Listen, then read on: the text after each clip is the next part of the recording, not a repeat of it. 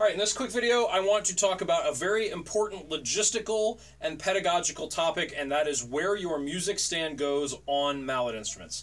Um, now, with most percussion instruments, we want to put the stand high so that the music and the conductor are all in one field of vision so that we can read the music and see the conductor in our periphery or watch the conductor and see the music in our periphery. Most percussion instruments, this works perfectly great because, for instance, like the snare drum, it's not going anywhere. Once you have a kinesthetic sense of where it is, it stays there. Mallet instruments do not work the same way, especially for sight reading for mallet instruments because we are dealing with a wide amount of physical space, right? So even on the vibraphone here, I'm still dealing with about five feet of space that I have to manage.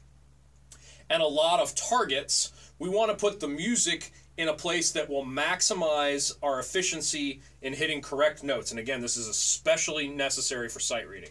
So what I'm going to do, instead of putting the stand up here where the conductor is now in my line of sight, I'm going to put the stand down as low as possible so that as I'm looking at the music, I can now see the majority of the keyboard that I'm going to need in my peripheral vision so I can read the music and play the notes as I'm going.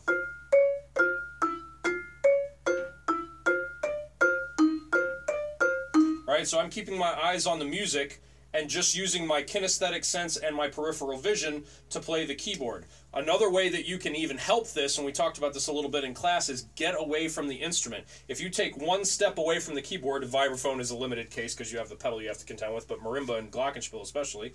If you take one step back from the keyboard, I can see every single note on the vibraphone in my peripheral vision right now. I can hit the lowest note or the highest note with just a glance of the eye and a physical movement, I don't even really have to take my eyes off the music, right? So while I'm sight reading, I'm reading the notes here and I'm actually seeing them in my periphery here to make sure that I'm hitting the correct note. Or if I do need to look down real quick to see where I am, then the process of looking down and up is a lot faster than if I have to go all the way up and all the way down each time. All right, so that's an important pedagogical um, and logistical difference of keyboard instruments uh, specific to keyboard instruments as opposed to instruments in the rest of the percussion family.